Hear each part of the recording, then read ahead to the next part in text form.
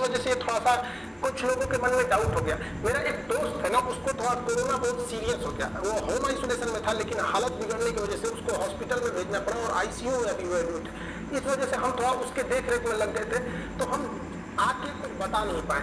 कुछ कंट्रोवर्सी हो गई है और वो बता रहा है मेरा दोस्त कि, भाई जाओ, अब हम थोड़ा सा ठीक है थोड़ा सा क्लियरिफिकेशन हो जाना चाहिए कि कुछ लोग का कंट्रोवर्सी ये है कि मेरे नाम को लेके, कि मेरा नाम अमित सिंह है कि क्या है?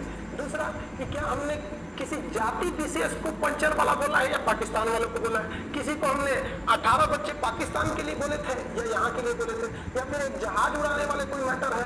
या फिर मेरे पोस्ट को लेकर ऐसा कुछ है? तो हम आपको सब कुछ इसमें क्लियर कर देते हैं।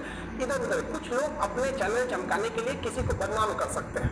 लेकिन जब पटना में थे तो हम हर त्यौहार को मिलजुल के मनाते थे, चाहे वो रक्षाबंधन हो सरस्वती पूजा हो, दिवाली हो, ईद हो, सब त्योहार मिलजुल के मनाते थे। लॉकडाउन के होने की वजह से ऑनलाइन आना पड़ा। तो कुछ लोगों को लगा कि ये खान सिंह है लोगों ने ट्रेन करा दिया कि ये इसका नाम क्या चीज़ है। अरे, नाम में कुछ नहीं छुपा हुआ है। देखिए, हमने एक वीडियो में हँसी मज़ाक में, ऐसा एक वीडियो देखेंगे लड़कों को कभी कभी हँसी मज़ाक में क्या होता है? लड़के पूछने लगता है, सर, नाम बताइए ना, नाम बताइए नाम बताइए।